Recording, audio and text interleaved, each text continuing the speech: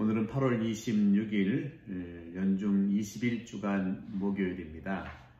아, 마태복음 24장 50, 42절에서 51절인데요. 오늘은 너희도 준비하고 있어라 하는 제목일 텐데 내용을 보면 영적으로 깨어 있어라 하는 주님의 말씀입니다. 어, 40일 시작하면서 제자들에게 주님은 말씀하시면서 깨어 있어라. 너희의 주인이 어느 날에 올지 너희가 모르기 때문이다. 하고 말씀하시면서 깨어 있으면서 도둑이 집에 뚫고 들어오도록 그렇게 두지는 않을 것이다 하는 거죠. 그리고 너희도 준비하고 있어라. 생각지도 않은 때에 사람의 아들이 올 것이다.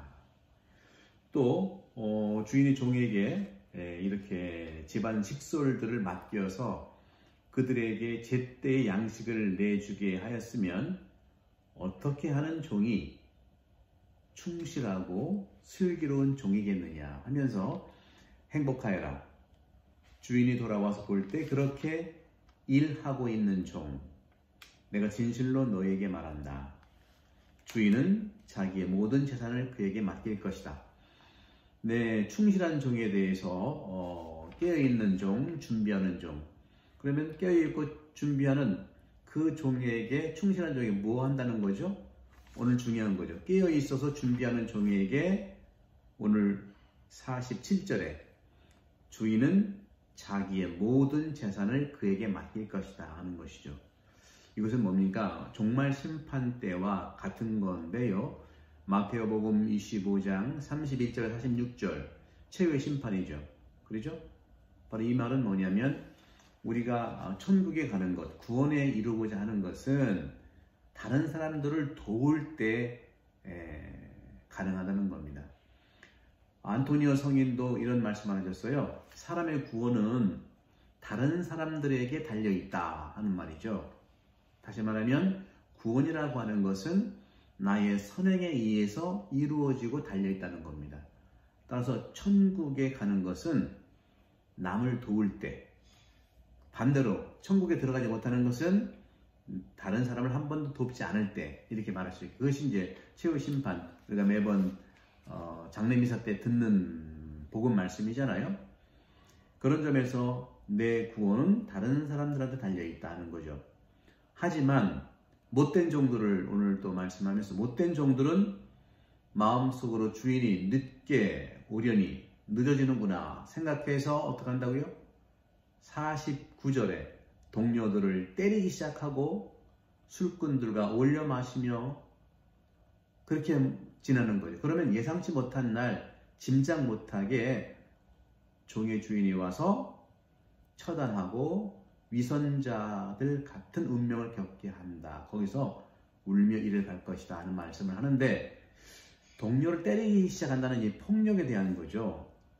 이 모든 악이라고 하는 것, 그 안에서 이 폭력을 발, 발, 그 생, 발생합니다. 바로 그 두 가지가 이 악에서 드러나고 있는 그 발생 원인이 두 가지로 나타나는데 사람도 마찬가지죠. 어떤 불의에 대해서, 악에 대해서, 폭력에 대해서 두 가지로 반응하는 걸 볼 수 있어요. 어떤 사람은 그 폭력과 불의와 그 저항하는 거죠. 거기에 저항하는 거. 악에 대해서 저항해서 싸우는 사람이 있고 두 번째는 악을 보고 그냥 입을 닫는 닫아버리는 사람이 있죠. 싸우는 사람, 회피하는 사람. 그렇기 때문에 세상 폭력이라고 하는 것은 첫 번째 잘못은 바로 우리들 스스로가 아닌가 하는 것이죠. 저도 포함해서 어제 그 죄의 보편성, 어, 책임의 그 연대성 이런 것과 일관성 있게 얘기하고 있는 겁니다. 하지만 하느님께서는 그 잘못을 있는 그대로 보여주신다는 거죠. 그것이 바로 그대로 보여주셔서 중요한 것, 그 잘못들, 우리의 어떤 폭력을 방치했던 것들, 폭력에 대해서 우리가 정말 막지 못한 것들에 대해서 주님은 우리를 단죄하지 않고 그 그 모습을 보여준다는 겁니다. 그게 은혜가 될 수 있고 그것이 긍정적인 나의 변화를 이끌어낼 수가 있다는 거죠. 주님의 말씀은요, 우리가 폭력을 막지 못했으니까 너도 당해봐라. 그런 것이 아닙니다. 그게 바로 자비예요.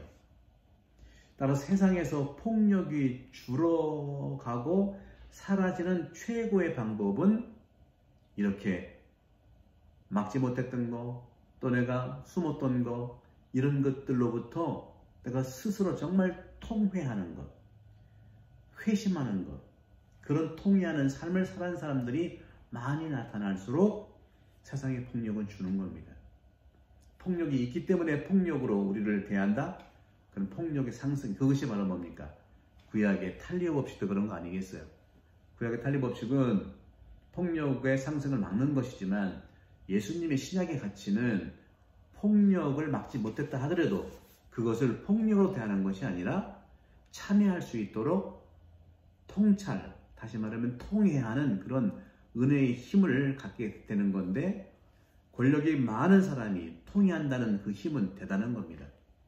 그러니까 우리 스스로가 잘못할 수 있는 그런 부분에서 늘 주님의 통해에 그러한 은혜가 되기를 주님께 요청드리겠습니다. 전부와 성령 그대로 오늘 반복합니다. 감사합니다. 오늘 하루 어, 의미 있고 주님의 위로의 시간을 되기를 기도하겠습니다. 감사합니다.